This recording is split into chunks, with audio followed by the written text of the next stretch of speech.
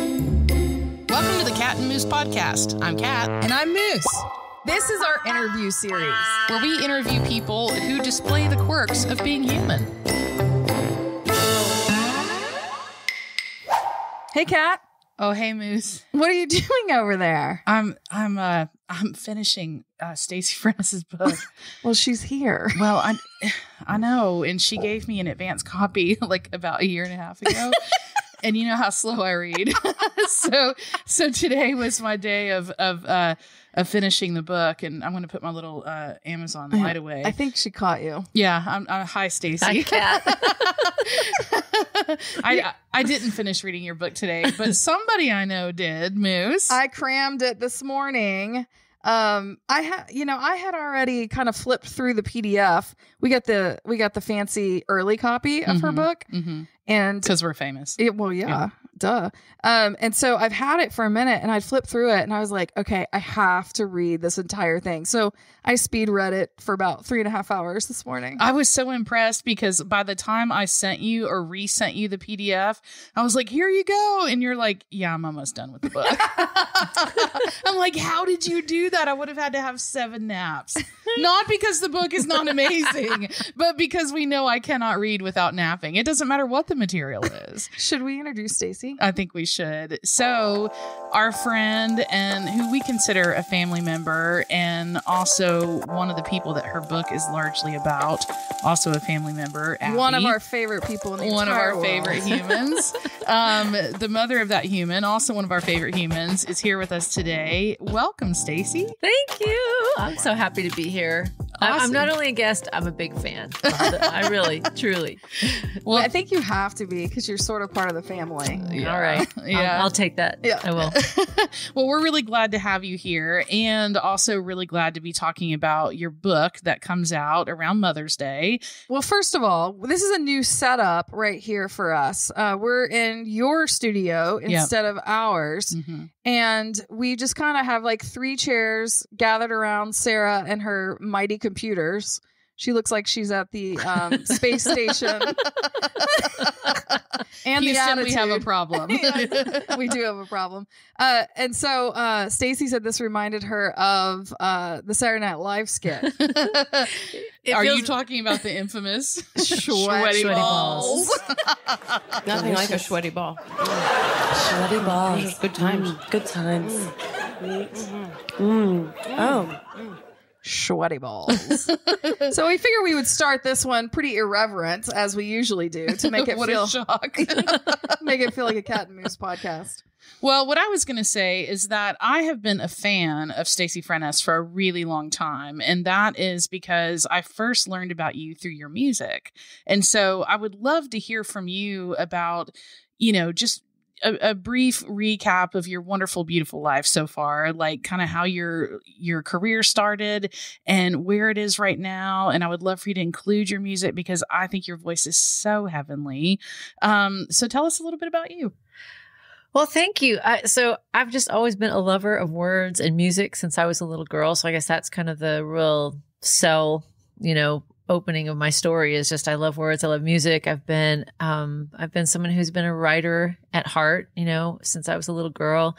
So um my love of words led me to um study English actually in college. I was an English major, but I was also a songwriter. I've always loved writing songs and so just that kind of natural outflow led to um just singing in coffee shops, you know, all around during college and then right after college I um came to Nashville and um, did a showcase and kind of got a publishing deal and then but went back home to California because um, we started I got married early and we were young. We were just babies but we um, thought we might like to start our own kind of indie sort of publishing and record company and management. We just kind of keep it in house my husband and I he's like a real maverick extrovert.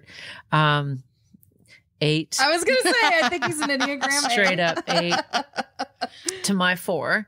Um, and so we just thought this is this could be kind of a cool way to just sort of do this together as a couple. And so we started doing that, um, released a few records, indie records, and um, had two kids along the way in our twenties. And um, yeah, I've just always been sort of organically homegrown, stayed home, but also um, made lots of trips to Nashville as a songwriter, and um, and then about five six years ago, tried my hand at my first book because I really loved talking about the creative process and what that looks like for different people at different walks of life. And that was your book called Flourish. right? Flourish, that was Flourish.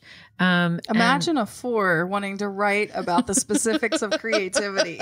I know it's wacky. yeah so that's and so then um in between flourish and now just life happened and in the course of life happening so somewhere in our 20s we, we ended up having two kids we had a son zach and then a daughter abby who you mentioned earlier and at that point we we figured we were done because we had had kids from a to z wah, wah, you know and so being a mom became part of my really identity. I mean, a big part of my identity. And um, so around the teenage years, I, I kept making music, kept traveling, kept uh, making indie records, and then. Um, yeah, so when Abby was about 16 is when she came out to us um, and told us she was gay. And then I feel like that's where sort of the trajectory of a different part of my journey started in some ways, um, just spiritually and as a mom. And um, so it has been actually uh, almost you know 10 years since that happened and so but about five years ago is when i started writing the book that that you were um that you're still getting through kat I have finished it as of like three minutes ago. oh And when i was talking when you were talking, I'm like, whoo, okay, that punchline was a good one. I, I was listening. Staci. okay thank you the the book that she is referring to is Love Makes Room and Other Things I Learned When My Daughter Came Out. And again, we are talking on the Kat and Moose podcast with Staci Frenes. And the foreword is by Sarah Cunningham, who we've also interviewed in Love. Uh-huh. love that love it Um, so I think it's important that timeline that you shared because you and I were talking before we got on mic, and um, I was telling you how much I enjoyed the book that I crashed and read this morning. Um, and uh, you know, you said something really interesting that um, it's somewhat hard for you to look back and recognize some of the feelings you had because that was 10 years ago. It really was. And, and, you know, as hopefully we'll talk and, and I'll say more a little bit about, but it's weird going back to revisit and really inhabit a headspace that you were in 10 years ago, um, for about anything, you Mhm. know, Yeah. um, this, this topic in particular is, is one that I just feel like I've done so much work and growth on that, that to come back to it, um, is challenging. But, but this is my first time really officially talking about it in, in this kind of setting. So, um, and I'm among friends. So I feel like, okay, well, it'll be fine. you know? Absolutely. Yeah, among friends and family. And and I just want to say for someone doing their first interview about their second book, you're really well spoken. Oh, I mean, clearly you have studied the language for a really long time, as is evidenced in your book. One of the things that I noticed in your book is that your writing really, really draws the reader in. Like, I felt like when you and Abby were sitting in that car Mm. and you just knew, okay, I'm not going to not talk about whatever is going on the movement of the windshield wipers the rain that was coming down. It's like i was there in that moment with you. And i just want to really commend that yes the subject matter of this book is amazing. The person about whom you're writing in a lot of ways abby is amazing. And like we said one of our favorite humans. And you are amazing too. Your writing is really really exceptional. Thank you so much. I appreciate that. yeah, very easy to read and, and really, really drew me in right before I fell asleep every time. drew, drew you in and lulled you to sleep. You were my lullaby for the past year. It was amazing. touched. Could you just sing to me a little? yeah, could it come with like an audio clip where you just sing Kat to sleep? That would be great. amazing. Um, I wanted to ask you about that um that specific scene in the book. And, you know, I don't want to give away too many pieces of the book, but this was the moment where you could feel that Abby was um, her energy was different and something was wrong. There's a sadness there. I wonder if you could just like share how much you're willing to share about that that moment. Sure. Um, Abby had been, this is her junior year in high school, and she, to really even understand the gravity of that, that moment and that scene is to know Abby's personality. It's very effervescent and very outgoing and very talkative. And this is a child who, you know, at 18 months old was just talking a blue streak in full sentences already. And, um, she was the kid that when you pick her up from school, you wouldn't even have to say, how was your day? She'd like launch into her day, you know, Yeah. and tell you all about all the things, everything that she felt and thought. And um, so there came a time around her junior year that all of that just kind of stopped. She stopped talking to me. She st- she would go up to her room and and just kind of hide out for for the rest of the night. She would didn't want to come down for dinner. Her grades started dropping. Um, she started getting kind of bristly about being asked where she was going and what she was doing. And so there were just all these kind of just signs that you could kind of as a parent you sort of chalk it up to this is sort of teenagerism, you know, they're just being teenagers. And I did for a while, but um there was this morning kind of in the middle of all of that where we we were going we were heading to school and she just started sobbing in the car and uh and I had no idea what was wrong. And how in the world do you say the artist's name who you were listening to? I, I need to know. And I'm a music industry professional. Bon Iver. Is it Bon Iver? Mm-hmm. Because I've heard people say Bon Iver. I've heard Bon Iver. I've heard I don't bon think we have to roll. Well, I've Bon heard bon, Iver. I've heard Bon Iver and Bon Iver. Okay. I don't, I just wanted to clear things Again, up. she set the scene with that song because I knew that exact song. Yeah. You did? Yeah. yeah. Yeah. Abby put it on the Skinny Love. Yes. Love that song. So she put that song on. She was crying. Um, it was just this whole kind of like, you know, uh, scene where I didn't know how much to to ask because it seemed like every little hint I threw at her, like, "Are you okay?" You know, no, and she'd turn away and look, not look at me. And um, you know, it, we got closer and closer to school, and she just was sobbing. And so finally, I said, "Well, I'm not taking you to school like this." So we pulled over, and um, it's pouring down rain, and uh, and I just kind of went through this whole litany of questions, like awful questions that mothers don't want to ask their kids. You know, Right. like what's happening? Are you? Is someone hurting you? It, it, it uh, you know, is there something wrong at school? Has someone done something? And all of the, you know, and then and then it, you know, kind of got to the mother of all questions, which I I really was thinking was the thing, which is I said, "Are you pregnant?" You know, and I was Yeah. could barely even say the word, you know. And then she said no, and so all these all these things, and then um, and I remember her just saying at one point, "Well, for starters, my heart is broken," and then she started crying harder, and then I was like, "Oh, so that's it? You just."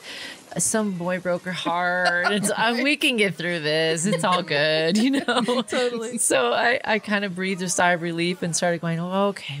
Is it someone I know? Is it a boy you've been seeing for a while? And then, and then, you know, more crying and more doubling over. And it was just like, I was like, how are we going to get to the bottom of this? And so I, you know, and I just remember going, she, at some point, she said, if I tell you, if I tell you what's wrong, I have to tell you everything. And and that's when I, I knew there was something deeper and just there was something more. And um, in in the course of about an hour, we finally kind of got down to finally uh, me saying to her, "Is this about a girl? Are you?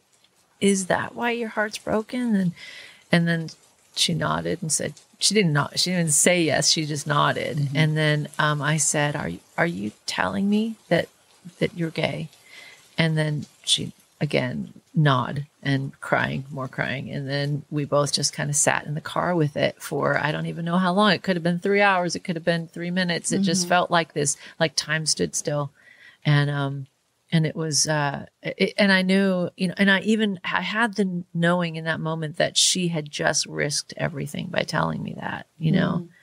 And um yeah Wow. I I really um one of the things that you said in the book, and I'm I'm not going to quote you verbatim, so you can correct me, but I remember how I felt when I read it, um, was something along the lines of of she deserved your absolute um understanding and attention and love and unconditional love like like i loved how in that moment you articulated for those of us reading that that because she had risked everything like because she had told you what to her was her deepest apparently darkest at the time because she had kind of gone into herself. Her grades had fallen. You know, she had gotten very sullen and quiet and all those things that we know Abby is not typically. Right. It's like it's like you responded by by basically saying like I'm going to give this everything.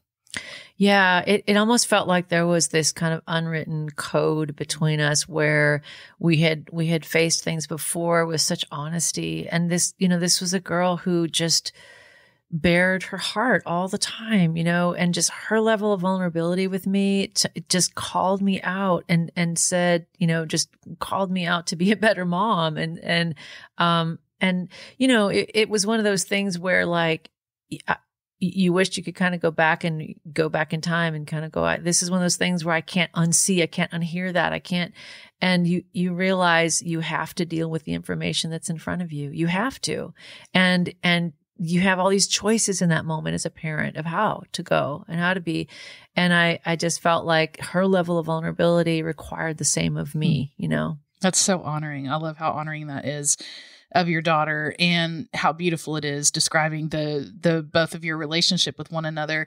And I just have a question. Come on. What does Abby think now that the book is out? Yeah, that's a great question. Um, she's been incredibly supportive from the very beginning. And then um, as it got closer and closer and closer and closer and closer, um, she's been still supportive, but also very clear that she's her own person and has her own story. And that's been a part of our conversation all along is that, you know, this is, this is my telling of a story that is largely hers. Hmm. And, um, I want to be really clear on that. And, and I think that when, when and if she ever wants to tell her own version of things, she most certainly will. And we know she's very capable of, Mhm. of, um, communicating. Um, but yeah, that it's, like at first it was really smooth sailing and then it, it got a little bit bumpy a little bit tricky as we negotiated these kind of conversations where um you know and i think initially i had visions of like us kind of being like the Judds, you know talking about this You know? I love I the know, I love- judge. I Tell love me me about the good old days. All right. Oh, Like, you know, grandma, like- or grandpa, Grandpa. or grandma. I mean, Grandma. they're probably both there. but yeah, it, it became clear really early on that she she wasn't really interested in like you know being a dog and pony show and telling this story together because she's on her own journey and she's on her own path toward finding out just uh, who she is as an adult and um and I, I, one of the lessons I talk about in the book about what to make room for in this work, in this kind of growing season of my life was to make room for her story to be her story Mm-hmm. and my story to be my story. Um, I heard one time I heard a, um, her name's Dani Shapiro. She's a memoir writer. I she's love Dani oh, Shapiro. She's amazing. Oh my gosh. She's like the queen of memoir. I and- we were talking about um on being the podcast. That's Yes. where I first learned of her. Oh my gosh, yeah. So she's like the queen of memoir. I learned a lot from her when I wrote the book, but she she talks about how sometimes memoir writing is like feeling like you're standing outside of a closed door and you're just hearing conversations inside and all you can do is bear witness to what you're hearing outside the door. You Mhm. can't some some rooms you can't be in. And I can't I can't be in Abby's room Right. but I can speak to what it feels like to be Abby's mom and to Mhm. be and to have my own experience around the events that that occurred. Yeah. And I, I i think that's a really clear distinction, you know, because Abby is her very own person. and I, I don't know many people who really embody being their own snowman like Abby Frenes. No, she, She- listen, look. everyone just pay attention. And here's the thing is like Abby may roll her eyes and be like, "Mm, I don't know Moose that well, but I have been around Abby plenty enough times to go, that girl is wild and free. Yes. And in the most like responsible way. You know what I'm saying? Like, Well, but- most of the time. well, I was gonna say, and then there's times where she's like, "Screw that, that doesn't work for me anymore," and I really respect that in a lot of ways. There's a line in the book that I I wrote that that uh it took me forever to write the line, but and I cried a hundred times writing it. But it was, you know, when I'm able to set aside my misgivings about the choices that my daughter makes, I can I can see and, and allow her to become fully who she's supposed to be. I can see that my daughter has been teaching me how to be brave all her life. Are you kidding me? That gave me chills. And it's so true. This is a child who, from the very beginning, said, This is who I am, and I'm not ashamed of it. Mm-hmm. And I will be fully who I am. And part of our, our, our tension, in, which I talk about in the book, is that she was ready to just be fully out, a hundred percent. Right away. Right away. And you have to understand that, that maybe, which, you know, you guys know, but maybe not everybody knows, is that we're talking about a family that was Jesus loving, evangelical church going. We're talking about mom and dad are worship leaders, very, very entrenched in, in, um, conservative Christian upbringing. And that's how my kids were raised. That's how I was raised. So it's not like she learned this freedom and Good point. You know what I mean? From Yeah. us or from in our house. It's like she just knew that that's who she needed to be. And so part of my story has was always like, well, how much am I going to tell of this story and how much am I going to reveal and how much how much of it is mine to even tell? Also, this is going to be weird to the circles that I move in um, as I'm sort of growing in this area and learning and discovering what this is all about, there aren't really a lot of safe people I can even talk to in my world. And that was part of m- what I learned, Yeah. you know? And do you know what I find really fascinating about that is that when when I think of scriptures, when I think of Jesus, I think of things like freedom. Mm. You know, I, I think of things like, okay, isn't that what God wants for us? Doesn't God want us to be that free child that that absolutely like living life with absolute reckless abandon? Like, isn't that what God wants for us?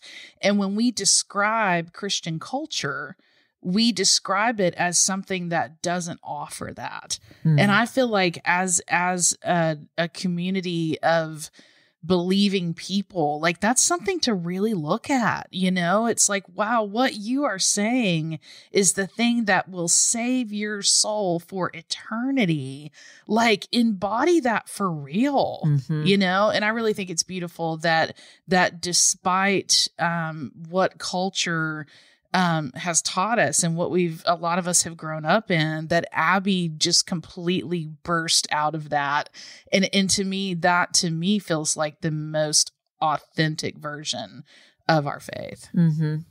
So, can you back up a little bit and um and talk about um did Abby go to school that day? I forget. Good, really good point. Uh, she, no, we ended up turning around and going home and, um, and she went back up to her room and just kind of, I think she was so wiped out from the big reveal and I was wiped out and we both just kind of went our separate ways for a little while that day in the house.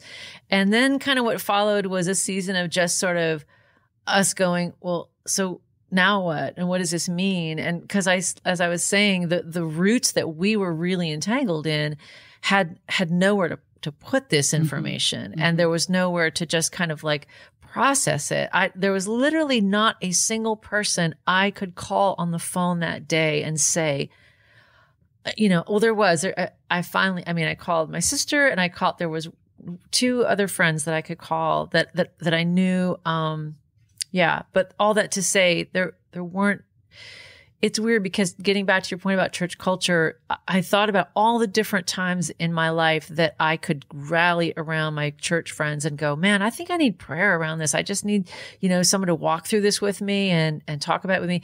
But for that, for that specific incident, there, there was no common ground with my Christian friends. Like I didn't know a single friend that had gone through that. Were you Um, uh, afraid to reveal it, or was it just too fresh that you hadn't processed like what you were feeling yourself about it? at first it was the freshness and I had I hadn't processed it. And then as kind of life went on and I got used to the idea, um, it was more about just uh the the places that I stood on stage and the things that uh, the people that I networked with and my actual life's work and vocation, which involved a lot of just being in front of evangelical churches, singing or speaking, um, I I didn't it didn't feel like a safe place to talk about this because I knew what church doctrine said about this Mhm. and i also knew that i i was that, that the more i learned and the more i researched and studied and prayed the more i was not aligning with most of that Yeah. you know Um, I want I asked you if you'd be willing to read this. Um,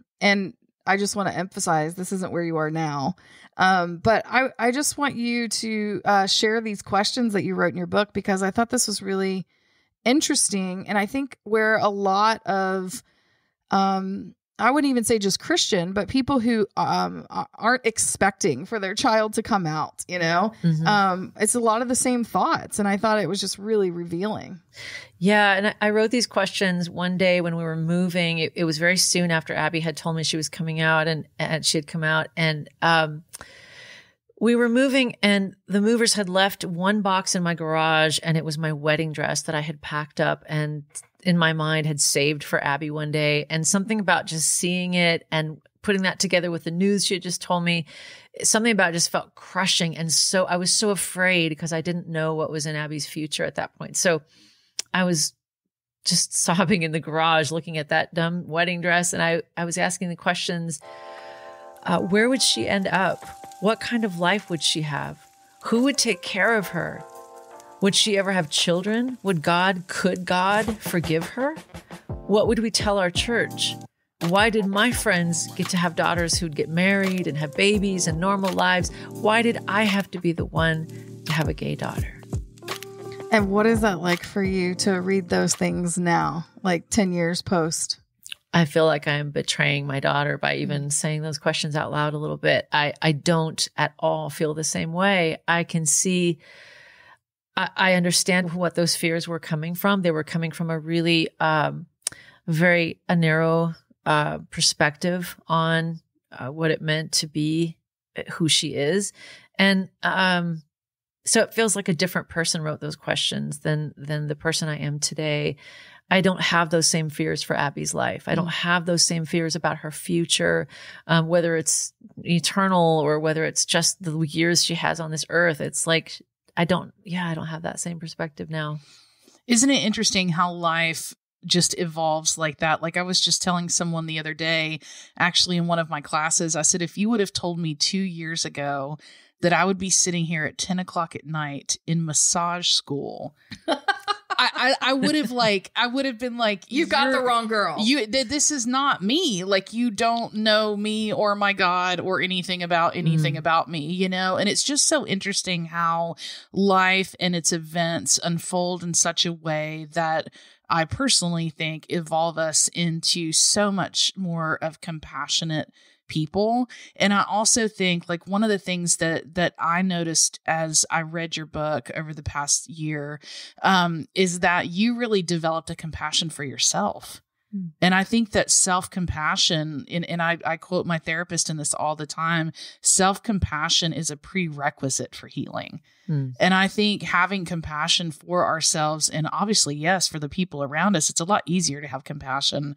for people around us than it is ourselves. Um, but you talk about mom guilt, you talk about shame, you talk about what do people think, like like all of that kind of stuff. And and to just see you 10 years later and and for us both having known you that whole time it's been really cool to see how much your compassion has has spread not only to your family and all the people around you and all that but but just how it seems like that's evolved in how you treat yourself and i think that's really important Thank you. I, one of the things that happened um, around around five years ago, uh, to the impetus of the book for me was a blog post I wrote that was the first time I took a baby step toward talking about it in public, and it was it was a blog that I wrote that just said. Uh, what I learned about love when my Mhm. daughter came out, Mm-hmm. and i remember the I did too. haters Yeah. i, I did too. remember the haters I- i, Oh, man. remember being like oh my gosh I remember seeing it on Facebook and I think I text Kat right away and I was like, this is huge. Mhm. because I knew it wasn't just huge for you and your sort of understanding of your you know how your family has changed but i it meant to me that someone i mean you're well known in the christian industry She's Um, famous.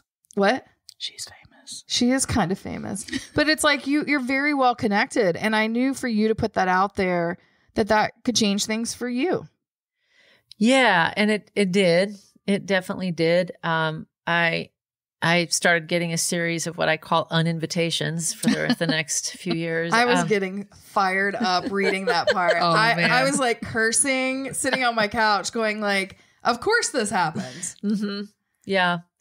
Yeah. But it was, um, I was going to say that it, one of the things that it brought out of sort of out of the woodwork was other, especially other, um, sort of Christian people in Christian leadership, like pastors I'd known for years, or worship leaders, or other artists that started just DMing me, you know, messaging me after reading this post and going, I can't believe you're talking about this. Our daughter, or our niece, Mhm. or our granddaughter, or our child, like, and we can't talk about it, Right. or our jobs are in danger. Right. And um, it it got to be this really real, like, um, thing, you know, where I realized, oh, like by talking about it, I'm actually just I'm I'm giving other people maybe some permission to talk Mhm. about it too. Mhm. And that that became why I started writing the book. Is Mhm. just okay. I need to be honest about this whole process. And and the other reason I wrote it is because um, I think you know there's sort of two camps. There's people that go, "Why do you even need to write a book about this? Well, shouldn't it just be hundred percent okay that your daughter comes out as Right. gay?" And like, why is this even an issue? Sure. How can you fill, you know Mhm. 240 pages of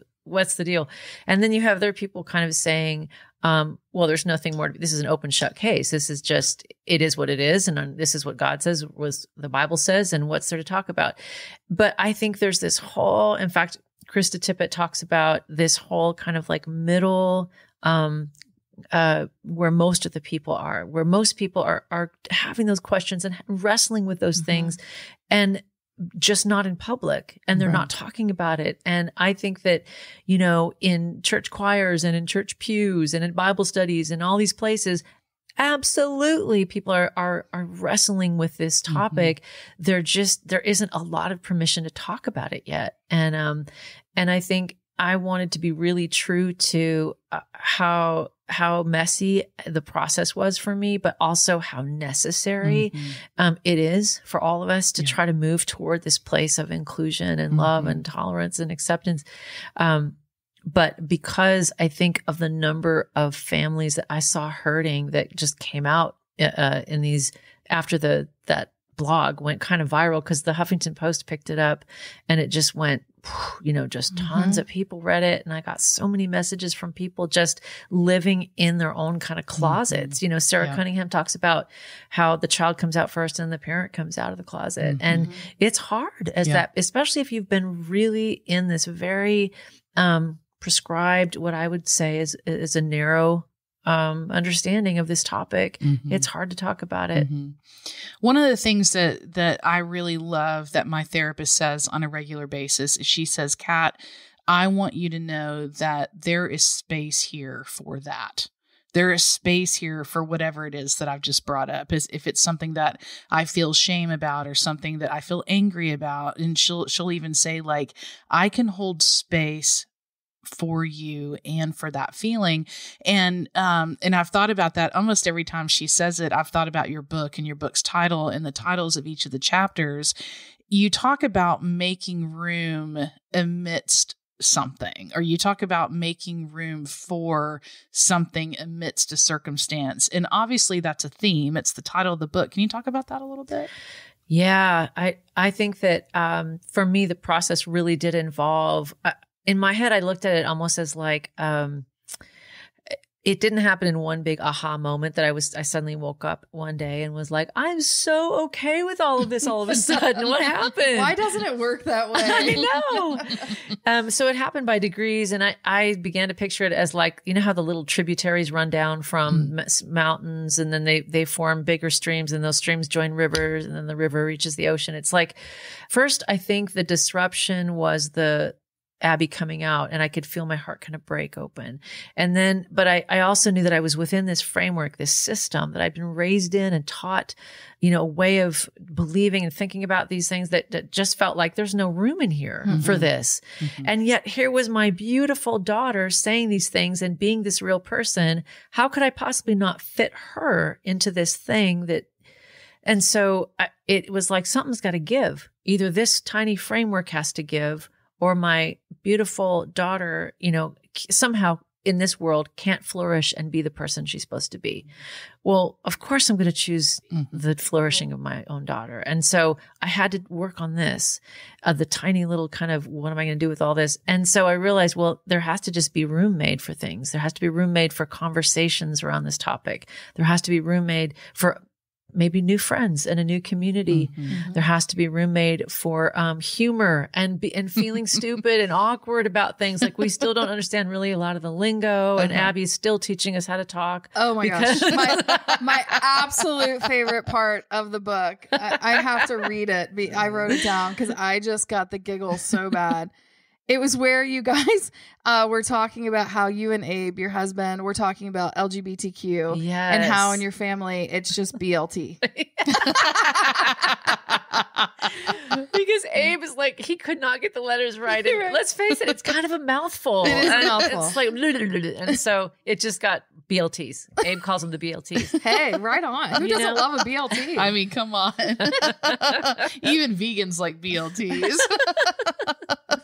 Yeah, so room, you know, room to laugh about it at time when the, when we didn't understand things. I mean, I can remember Abby and I, and we still have conversations like this, but there, I remember conversations where I would just ask her, okay, explain to me why it is that, you know, some things are this way and some things are that way. And, and she would just kind of laugh and be like, you know, like, like a, a, a, an adult laughs at a child who's being really silly, like, oh, mom, you know? but it's like I I value those conversations and I and I value the conversations with her friends and her community that just kept stretching my heart Mm. open all of those things um and then i think the biggest thing was the theological part of it you know understanding like okay maybe i maybe there is another way to um believe to to approach scripture to um understand this topic that is different from the one I was brought up with. You know, that took longer, but Mhm. it it was part of the process that I think like made room. And um, Michael B. Curry, the guy that um, he just wrote a book called Love Is the Way. okay. I think it's called. But anyway, he says. You know, when Jesus talks about in my father's house are many mansions, he said it's as it's as though as Jesus is trying to describe the kingdom, he's trying to think of the most expansive metaphor possible. Hmm. Like it's so big that there's all these mansions for everyone. And that was part of kind of the metaphor I was going with when I was writing the book and really going through this process is like, this is about me growing and stretching. It's not about her changing Hmm. Right. anything, Hmm. you know? So I love that. I mean, I, I love how you talk about like needing to find a new community, um, and a community that was willing to have those conversations with you. Um, I heard recently this phrase. It's probably a really common phrase, but it just hit me upside the head. Of, um, you know, we're we're we're as sick as our deepest secrets, Mm. and it's funny because uh, my initial thought when I heard that was, oh, what do I have shame about? You know, and then I started thinking about, and you know, yes, there's an individual piece to that, but then I started thinking about, okay, instead of we are only as sick as our d- deepest secrets, it, um, so is the church. Yeah. And I know so many people and you know that that are Christians who have children who I can think of two right now. One who has um, a gay daughter and and one who has a trans son. And um they they show up at these, you know, events or these concerts or whatever it is they have to represent and they they leave a piece of themselves behind because that's not something they can bring to church or to work or whatever that is. And so this book is so meaningful, Staci because I I feel like um you know, I, I feel like so many parents need to read this and even if their child isn't gay, if their child is straight as straight gets, to recognize like, okay, this world that we live in, um, from a Christian's, you know, viewpoint, I might have to look at this a little bit differently. And so I'm just curious if you would like, I know you talked about like scriptures and things like that. Um, is there anything that as you were kind of studying that was this huge aha, whether that was just a revelation on your own or you know, was there a specific thing that made you go like, okay, I need to break the stuff open even more?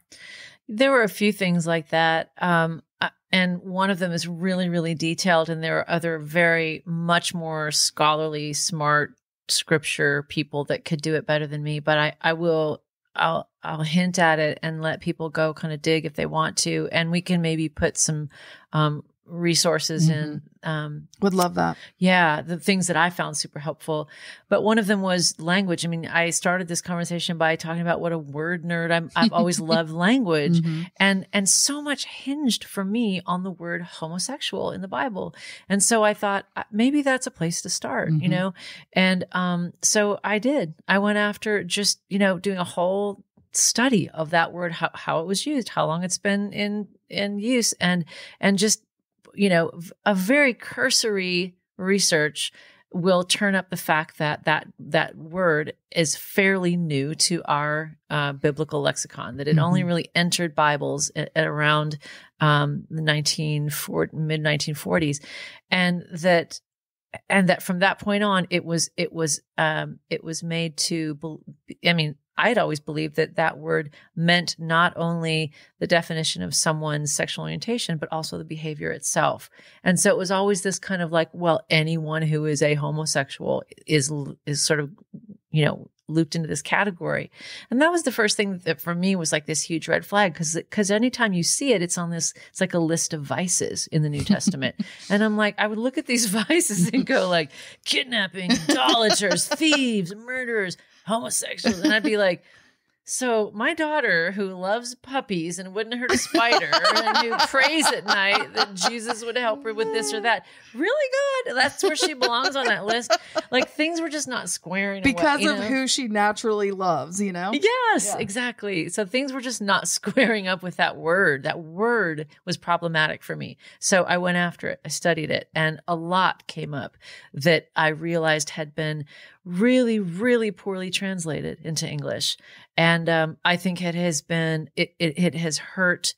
I mean, there's there's movies out uh, that are being made Mhm. right now about it, how it has damaged LGBTQ people for decades. The Mhm. use of that word. Yeah. Interesting. Yeah, so that was one of the first things, and then and then I just backed up really, and the and kind of one of the biggest things was just the entire arc of Scripture being being one of God pursuing His people with love, and um, and then Jesus in the Gospels, who was constantly breaking the law, basically, and saying, you know, you've heard it said this, but I tell you, Mm. and it it was kind of this whole idea that, wow, maybe, maybe we've gotten it wrong in this topic. Maybe we've hung up on laws and rules. And what Jesus has been saying all along is that it's not about that.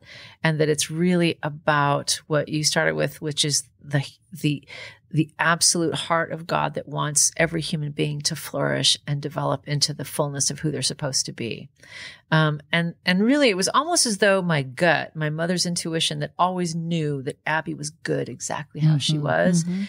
It was like that was ahead of my theology. Mm. My theology had to catch up with that sense of inner, like, yeah, that's right. Know? One of the things that I've been learning in in my studies has been that um, our bodies um, have so much wisdom, like they just contain so much wisdom, and I think that that's actually like a primal characteristic of us, um, because you know, way back in the day, back in like Neanderthal days and stuff like that, it's like our inherent um, intuition and our physical response to things was to stay alive sure. right Mhm. and and now you know being in a, a first world western society it's like staying alive like ah, i don't even have to worry about that i've got a roof over my head and i've got three meals a day and and all of that and and one of the things that that it makes me it makes me think of is that over the years and over time and through our modern experiences and i know technology has a lot to do with this we day after day after day like we lose the ability to pay attention to those instincts to pay attention to those things that are deep in our soul. And the fact that like there were multiple times in the book where you brought up that as a mother with a mother's instinct. You knew that you knew that you knew. Can you talk a little bit more about that? Because I think that that's at the root of what each one of us, even if if this is a topic that no one in your life has touched that you know of. And it, it, it doesn't matter. Like your book although it is about you know it's subtitled and other things i learned when my daughter came out i really feel like there's a part of me that wants to extrapolate all the parts in this book about abby being gay and just go this is a freaking great book about parenting. Mm. It's a great or book about, Jesus, about, about Jesus loves. Jesus' love and about listening to your instincts and, and all of that. So I, I would love for you to talk about how that mother's instinct kind of broke through some of maybe the biggest barriers that you had. Wow, that's a great question. I, I can remember one time I um and I there's a chapter about this in the book where I decided at, for hi, um, Abby's high school graduation I decided to make this slideshow for her. Remember when that was the big deal of like showing all the slides? And I just went through these. I took a day to go through photo albums and um, look at all these different pictures of Abby. And it was when I was still kind of in this really liminal space of like not knowing where I was landing on all these things, and I didn't. You know, I was very. I, it was a very real fear of like her eternal soul and these kinds of questions that you just wrestle with at night.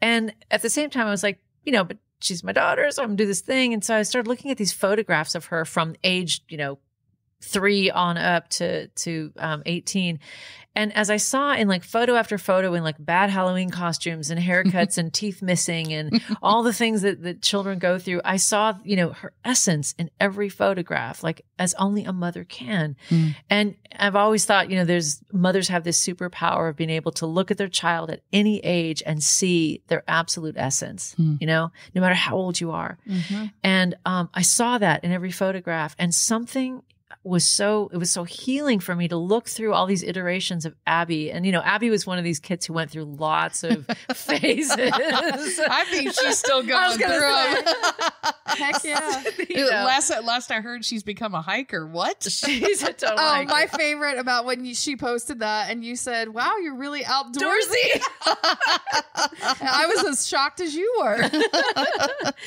Yeah, so all these, you know, like the goth phase and the punker phase and the skater phase, or the, all these different. I was like, oh no, there's still Abby. I see her. I see that smile. I see that little mischievous Mhm. look. I see that, and and by the end of that project, I had this slideshow. But really, and I thought I was going to do this. It was this big gift for her, but really, the whole event, the, the whole project was a gift to me to be able to see again at that mother gut level. This is my child. Mhm. Nothing fundamental has changed about her Right. since telling me that she's gay. She's still the same. It's the same heart that beat against mine when she was a baby Mm. girl, when she was five years old, and she came running to me when she was 10 years old. And now at 17, as I'm hugging her and she's graduating college, it's the same child. Mhm. And for any parent that ever doubts that about their gay or trans or whatever child, like, no, Mhm. no, it, this really, really, really is your child. Don't listen to any other voices that tell you differently. This is that child you love. So I remember that being a really pivotal time for me. Mhm. And I remember too, just like realizing, okay, you know, life, this moment is like a snapshot. It is like a Polaroid snapshot and it's still developing. It's still going to become what it's going to become. She's still becoming who she's going to become. And like, like I could see along this whole line of photos I had chosen, she was still growing and becoming and morphing and, you know, changing. And, um, and all of that to say, I, I was able to fully see her and embrace her Mm. for the fullness of just happiness, you know, that Mhm. she's always had. I want to hear the story about Abby dragging you to a gay bar. oh, this is. oh my. Because I have to think that from the time she told you to that point, like you you know no matter what you're still like okay that's your life but at Mhm. some point you go you know what yes i want to i want to see this I want to understand. I did, and it was it was definitely that. And and she had been telling me about this this place where she went and did open mic night, and it was you know uh, it just it happened to be you know a lesbian bar, and I, it was just one of those things where it's like I'd never ever darkened the doorway of, a- of a place like that ever in my life, and so um I told her I'd go, and I I remember just like walking in and feeling so self-conscious. Like i know everything about my clothes and my demeanor and everything just screamed like heterosexual mom coming through. That's so good so fantastic. oh there's one of the hetero moms here to see her daughter christian Here to- mom coming through Here to check out the scene. might be witnessing to us later and so I sat down at a table. She was on stage and she, as usual, killed it, sounded amazing, sang something, and I was so proud of her. But what was beautiful to me was just, I, you know, I went in just with like a lot of reservations and just thinking, oh, this is going to be freaky and I'm, it's going to be weird. And, you know, and just listening to the conversations among these, they were all probably early 20 something young women talking about their lives, talking about um, their jobs, their school, their parents, their this or that. I mean, it was the most absolute normal conversation ever. it could have been any group of young 20 somethings. And, and it was, um, for me, it was, it was a pivotal, again, it was one of those seminal moments where it was like, okay, I've had so many fears and weird hangups about the gay community. Mhm. I'm, and I'm using big old air quotes here because that was part of my upbringing was that that's a dangerous, seedy, weird kind of. they're gonna suck they're you gonna in suck you in. you'll be gay before you leave I'll be- they'll have you drink a special potion or I think as a mom, my fear was just like Abby was going to get taken advantage of. She was going to get brainwashed. She was going to get pulled into things that she didn't want to be a part of. And then it was so preposterous. Like sitting there, I realized how ridiculous my fears were. Mhm. These are just normal people Mhm. living their lives, trying to get through their day. And I thought, you know, I wished all of my Christian friends could just sit there with me and hear it and see it and be a part of it and talk with these kids. And yeah, it was just mind blowing. Well, and to realize that that whatever it is that is your thing, you know, whether you're a carpenter, whether you're a gay person, whether you're Episcopal or whether you're did you, know- use carpenter for jesus I did. okay um agnostic you know it, it's like that doesn't change the fact that like who you are as a person is just a person you know and i think we have these kind of grandiose outlandish ideas of like well the gays they do you know da- da- they're da- da- out da. gallivanting Yeah, around the city right. at night. You know, it's like okay, they're people, you know, and even so, like the Christians, the Christians are just sitting around in small group all night. It's like no, they're going to Walmart and like buying like oil for their car. You know, I mean, it's like it's not,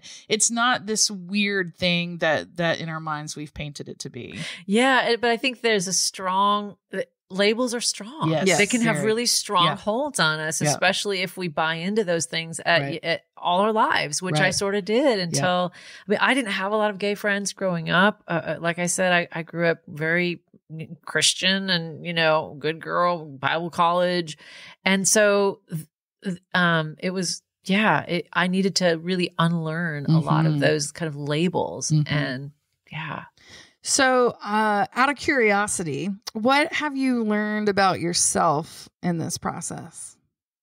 so much. I was going to also ask, has it changed your songwriting?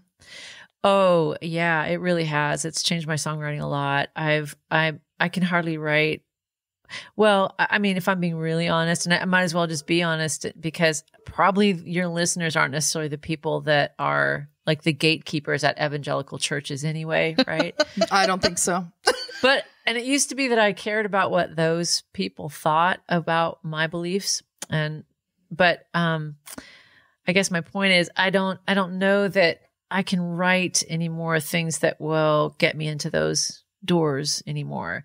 And and I don't mean that to say that I stop believing in God or that I any of that, but it's the things that I'm finding important and want to talk about are just more, a little broader and um it, so I think that my my perspective has just sort of blown up. And and because of that, um, I'm reading books like Holy Envy by Barbara Brown Taylor and Yeah. talking about how are other faiths teaching, you know, informing Mhm. our faith. And Mhm. um, so I haven't thrown the baby out with the bathwater. Sure. Um, I I like to hope that I've saved the absolute precious baby, and you know, um, and I'm trying to get rid of the bathwater. Mm. Honestly, the things that don't serve anymore. You know, Well, and I've said for forever and ever how I I want to have, and a friend of ours sent us a, a YouTube link that was the closest thing I've seen to this, but how I want to have a Bible that is just the words of Jesus, Mm. like literally just the words of Jesus. I think it's called the Red Letter Bible. Which I bought the domain name and held it for years, and now it's out there floating around for five ninety nine on the internet. But Listen, that's what it's like Tesla stock. You don't get rid of that. and I did. I don't know what I was thinking. All of that to say is that I feel like if you if you kind of pare down and look at like just what Jesus talked about, that's exactly what you're describing. Hmm. He didn't sit around and talk about like the the little teeny tiny ins and outs of our day in and day out lives is like he talked about very broad topics about how loving is important and you know taking care of the widows and the orphans and believing in miracles and, and all of that kind of stuff. And it's like why in the world do we make such a simple message so complex? Like why is that important to us? I think one of the bigger issues, and I'm this, I just thought of it, so this may not be relevant, but I feel like somewhere along the way in the Christian church, we decided that we would allow someone else to tell us what the scriptures say, Mhm. someone else to interpret the Holy Spirit, who, by the way, has a feminine side to, you know, Yeah. like I think the, the Yeah. Holy Spirit like woos us, you she's know? durga man Yeah, she is. She's the nine armed princess. Mhm. but, and also, God forbid you look into other religions and say, Oh, I, I just want to learn about this or that. I remember, uh, I've, I've shared this before, but posting a Deepak Chopra uh, quote and having someone in the Christian, uh, at a radio station say to me that I was wooing people away to Hinduism. And I thought, I wrote back, I wish I had that kind of power. right. I was just watching Oprah. Thought it was a good quote.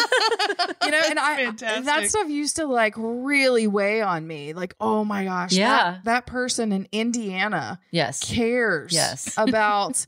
and then I was like, I, I guess I'll take it down. And I remember as I was taking it down, that feeling in my spirit of like, that, this is an inspiring quote. Yeah. Yeah. Um, and so I think we we've be I think along the way we've become like, oh, you're the pastor. Let me believe what you say is true, and we receive that. And instead, you look at any other religion, and outside of cults, which uh, I'll leave that there.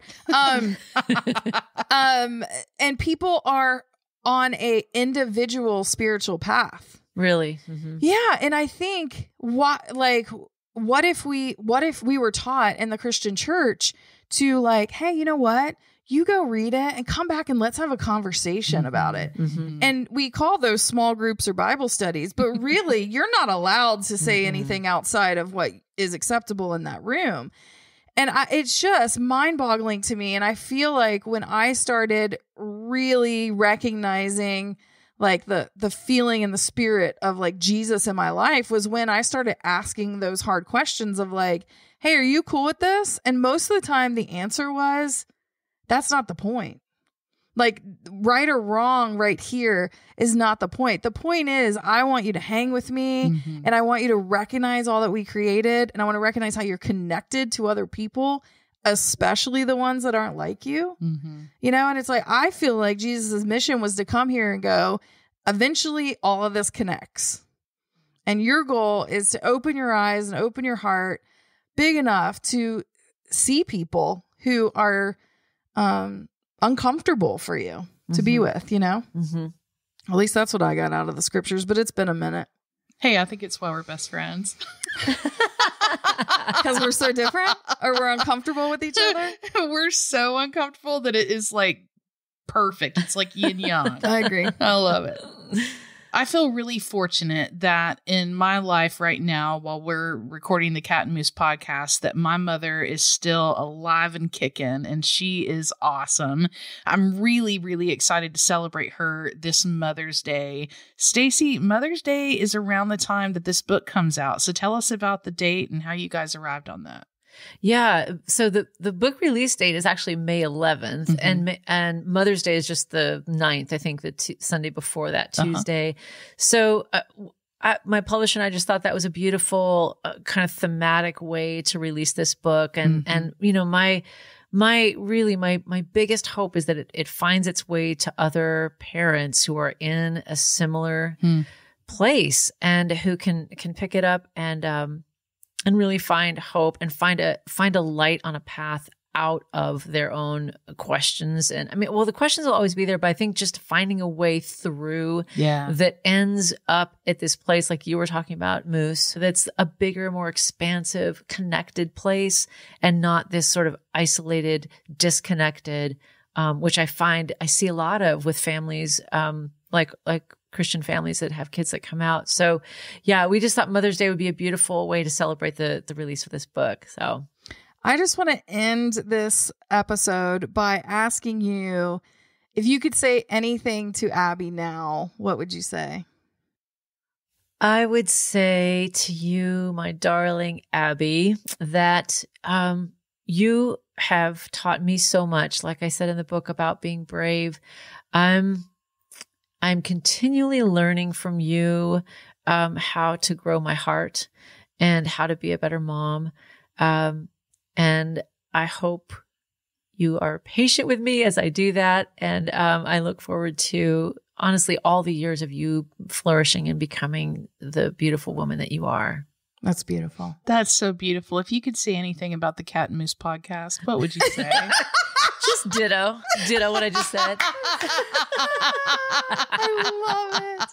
I wait. I need to say this though because I Okay. I, I'm a really big fan of of your podcast, and I discovered it, of course, because we have some mutual folks in our life with like family, and it's like Abby and I both listen to this podcast all the time. I I listen to it on my walks, and I can guarantee you that in my little suburban neighborhood, that people think I'm out of my mind because I'm laughing so hard when I'm out on the street walking. And it has brought so much joy to my life over COVID. You cannot even imagine. It, I, I adore you both. And I think I love this podcast so much. Oh, thank you so much. We love you too. We and we love this podcast too. And it's gotten us through COVID. Oh, listen, it's the only thing weekly that I did the same every single week. I was like, put on your pants and record the podcast. You could do it. Thanks for being on here, Staci. Thank you. And we will send everyone your way. You guys check out her new book. May I send make love. Make love while you're reading Love Makes Room. the book is Love Makes Room and Other Things I Learned When My Daughter Came Out by Staci Frenes. that was awesome. Great. Staci, you're such a pro. Oh my gosh. Special thanks to our producer, Sarah Reed. To find out more, go to katandmoosepodcast.com.